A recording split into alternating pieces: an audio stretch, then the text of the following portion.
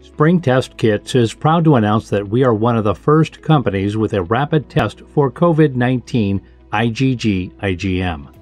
Our product is made with the CE certification mark in order to fulfill the highest European standards. We present to you instructions for the proper use of the COVID 19 rapid test. Allow the test to reach ambience temperature. Remove the cassette test from the protective aluminum pouch. Place the test on a clean and level surface. Clean the hand of the patient with alcohol and allow it to dry. Puncture the fingertip firmly with a sterile lancet. And clean the first sample of blood. Take the second drop of blood using the dropper included in the kit.